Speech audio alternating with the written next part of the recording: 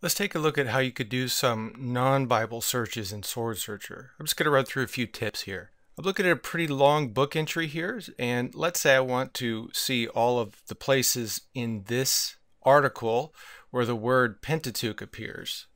If I just make it active by clicking on it, and you can see there's the darker outline, it lets you know this is the active window.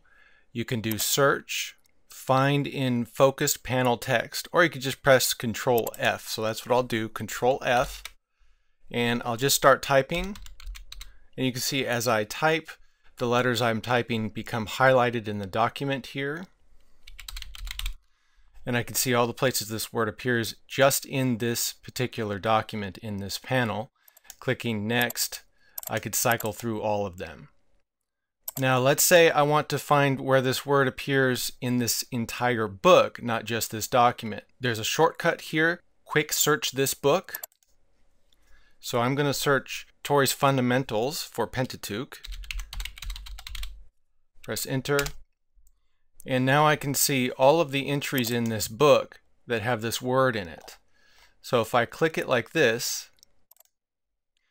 I can see all of the times the word appears in this entry, and I can go back and look at every entry this way. And here's a tip, if you want to cycle through the hits, you could just hit the plus and minus keys.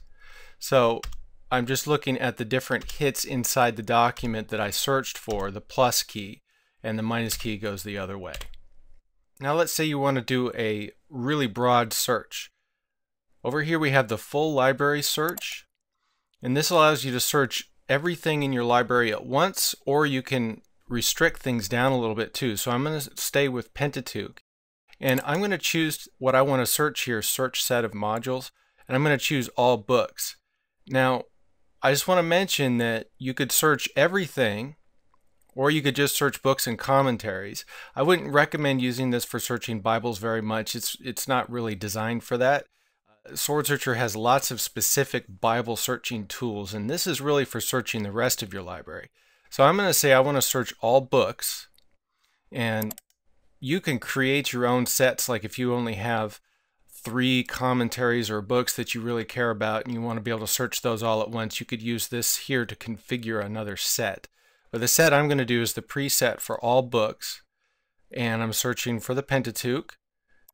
So I could see here, I've got a library search for the Pentateuch, and on the left-hand side of the panel shows me a list of all of the books that contain this word in there somewhere. And you could just select it, like here's Carol's book, and you could see on the right the various entries that have this word, and this works just like we've already seen. And here's Pentateuch in this particular entry.